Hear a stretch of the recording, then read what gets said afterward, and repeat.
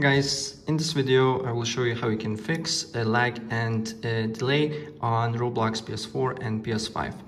Uh, so the first thing what you need to do here, you need to go on Roblox and press options button and close the game and then you need to uh, basically run the game and look if the problem persists or not. And if the problem persists, try to restart your uh, console and then re-enter again and if this doesn't work then maybe your uh, console is too cluttered. Maybe you have lots of games and you don't have a lot of storage. So what i suggest you to do here if you don't have a lot of storage is just to delete a few games here and then you need to look if the problem persists or not.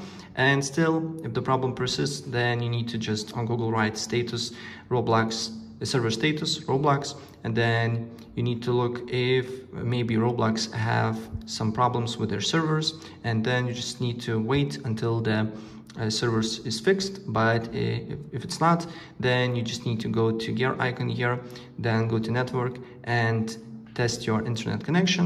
If you have good internet speed, you're good to go. But if you don't, maybe, maybe limit some devices or restart your router, unplug completely your router from the cord, and then just hold offline for a minute and then plug it again. Same thing, of course, with the, the internet, a Ethernet cable.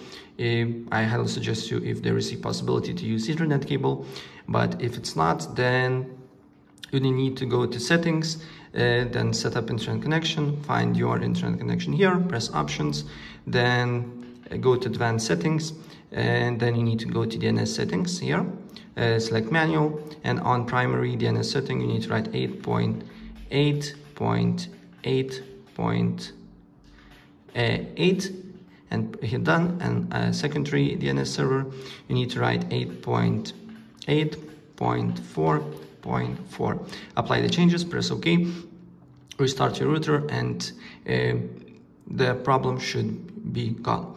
Right, so that's pretty much it. And if I help you out, please press like button and subscribe for more. Take care. Bye.